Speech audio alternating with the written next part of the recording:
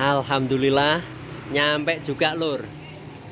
Jadi ini tadi berangkat kurang lebih jam 4 sore ya. Kita nyampe sini ya sekitar jam 7 lah. Kita jalannya santai. Nggak ngebut-ngebut banget. Ini jalan 100 kilo dari rumah nyampe sini. Bela-belain ini. Nah ini. Jadi ngebelain dapat seralik yang ini. Jadi perjuangan ini lur. Nah ini bahan yang buat seralik untuk si turbo putih.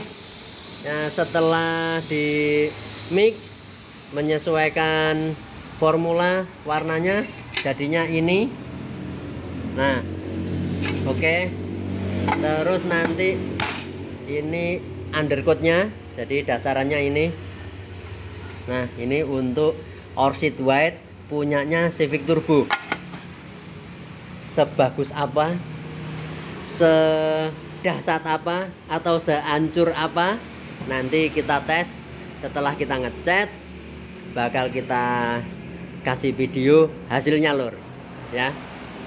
Jadi buat teman-teman mungkin ada yang lagi butuh warna butuh cat yang model pakai formula yang terjamin kualitas yang sudah saya rasakan sih hampir setahunan pakai no problem.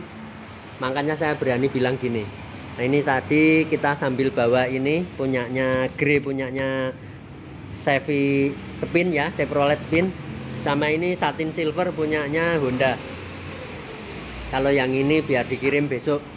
Yang jelas hari ini kenapa kita bela-belain sini? Karena ngambil catnya si turbo Orchid White. Besok mesti langsung joget lor. Nah ini udah kita udah cukup di sini acara ngeraciknya. Nah ini tadi ngambil-ngambil ngeracik-ngeracik di sini. Buat teman-teman mungkin ada yang butuh nebula ada. Nason ada. Kalau ngomong favorit favorit saya sih nason. Itu bisa cuman dua lapis ngecatnya lur. Jadi nggak nggak capek nggak boros thinner aku juga hemat waktu.